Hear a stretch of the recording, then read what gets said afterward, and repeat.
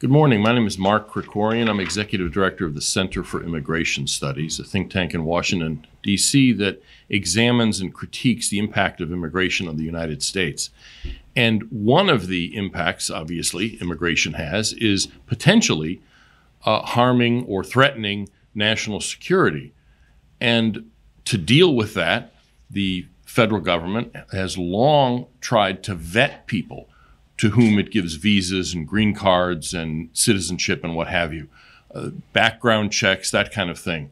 We're assured that this is, uh, you know, a thorough process when politicians talk about it, uh, and yet it's not foolproof. Um, and so, what we're releasing today is a database of failures of vetting.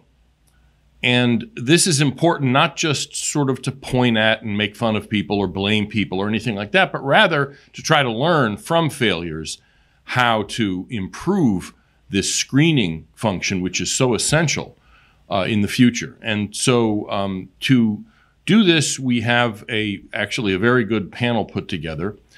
Todd Bensman is the author of the database who developed, looked for all the information. He's going to explain what it is.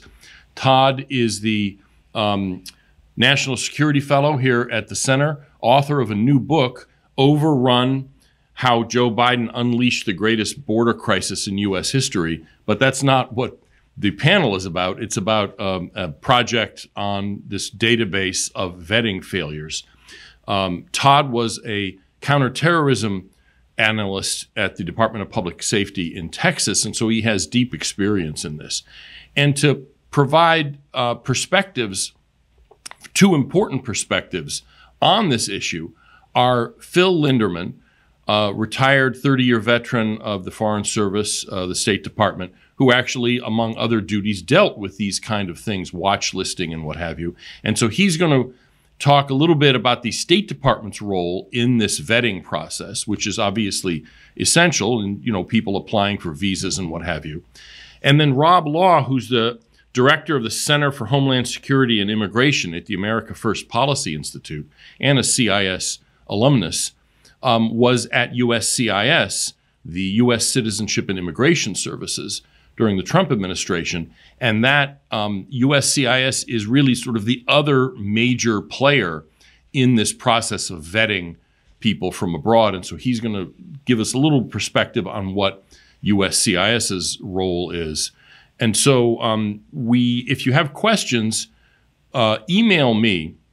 That would probably be the best way to do it. I am at MSK, that's Mark Stephen Krikorian, MSK at cis.org. And I'll be checking my email. I will not be bored or playing a game on my phone. I'll be checking to see if people have submitted questions. And after the three presentations, we will um, take, uh, take questions.